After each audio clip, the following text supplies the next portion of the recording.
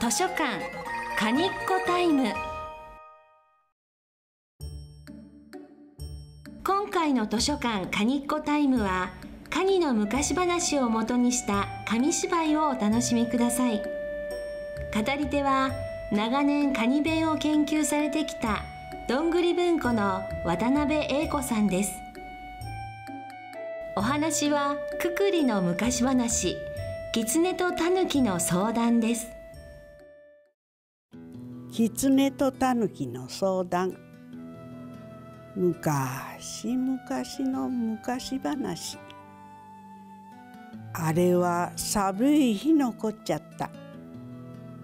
お寺の近い山道で狐と狸がばったり出くやったと「おう狸さ久しぶりやねえか。こう寒うてはかなわんな。油揚げのたんとへたぬくて汁でも腹いっぺ食いてえな。けどなごっつおくっても銭もねえし狐と狸はしばらく考え込んどったそうじゃ。狐が急にほうやええことがある俺が死んだふりするで恩師が俺を担いで売りに行ってくれや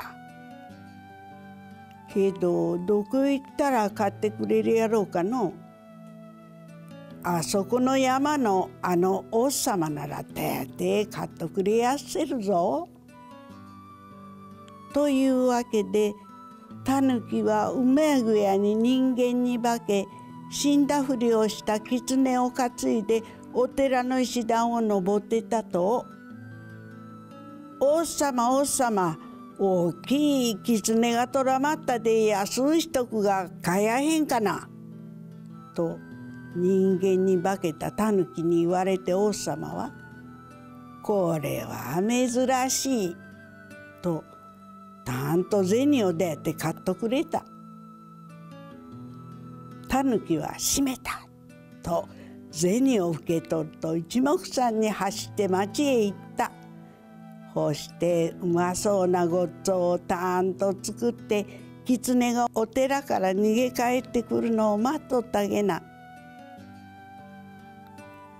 一方狐屋がのしばらくは死んだふりをしておったが王様がちょっと裏庭へ出られた隙にそれ今や!」スルッと縄を抜けてタヌキのおるところへ走って帰ってきたそうや。そして久しぶりに狐とタヌキはうめえごっつをたんと食べた。これから23日したある日狐とタヌキはまた相談を始めたんやと。今度はタヌキおめえが死んだふりせよよ。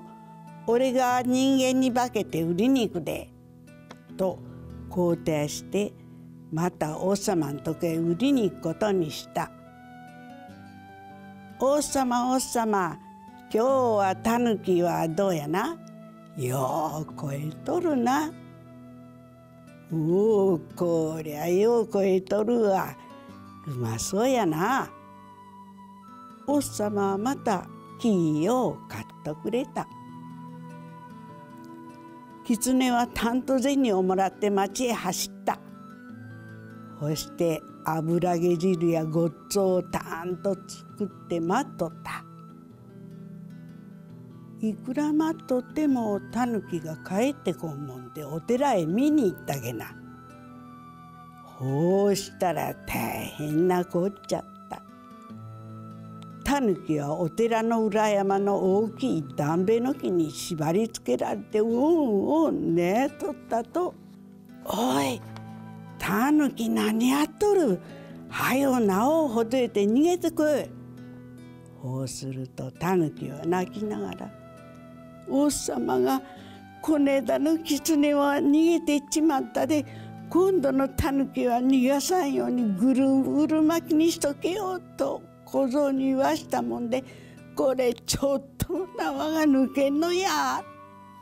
と言ったここで狐は「おうかほんなら今夜のごっつおは俺一人で食っちまうことにしようか」まあおめえは気の毒やがたぬき汁にでもなるか」と言い捨てて帰っちまったそうや。たぬきは「待っとくれ!」と叫んだんやけど狐はニヤッとしただけで助けてやらなんだ方や。そんでもこれから一年ぐらいしたある日のこっちゃったげな。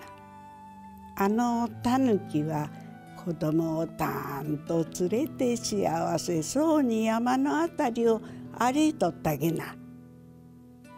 やぱし逃げたんやわ。